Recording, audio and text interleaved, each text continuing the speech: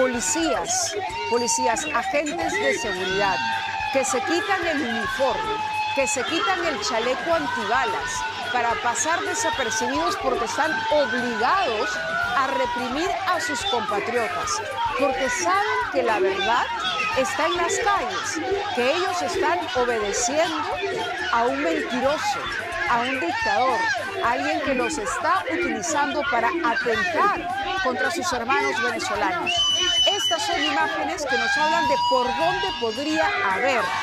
tiene que haber alguna manera en que las Fuerzas Armadas puedan encontrar de pronto un liderazgo que finalmente se plante. Pero Maduro, como decía uno de sus entrevistados, ha hecho bien, es un sistema ya.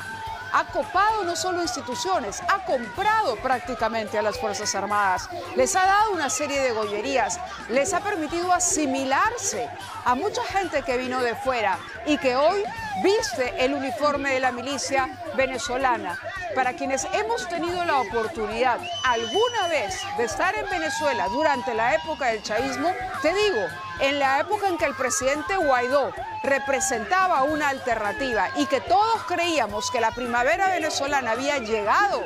lo de Maduro fue increíble. Bajabas del avión, llegar al aeropuerto, que te registren por entero, eso no es libertad. Pero la libertad del hombre al final siempre va a triunfar. Maduro tiene que entender eso, que acepte cualquier propuesta, que haya aquí de pronto una reunión de países, no lo sé, que le planteen una salida pacífica, un refugio donde pueda ir, pero Maduro sabe que si pierde ese poder va a tener que ser sometido a la justicia internacional por los crímenes, por los crímenes que ha cometido.